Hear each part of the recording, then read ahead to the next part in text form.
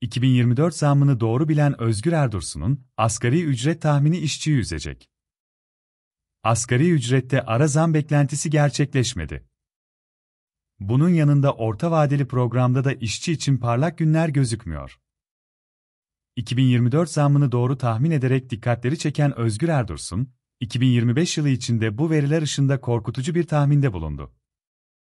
Aylık enflasyon oranları, alım gücü, hayat pahalılığı gibi etkenler altında ezilen işçiler gözünü 2025 asgari ücret zammına çevirdi. Piyasacı ekonomistlerin ısrarla artırılmaması gerektiğini söyledikleri, asgari ücret için işçilerin beklentisi hayli yüksek. Farklı alanlardan ekonomistler ya da sosyal güvenlik uzmanları tahminlerde bulunurken, 2024 asgari ücret rakamını doğru bilen Özgür Erdursun da görüşlerini paylaştı. Erdursun, orta vadeli programa işaret ettiği açıklamasında işçilere üzücü bir tahminle seslendi.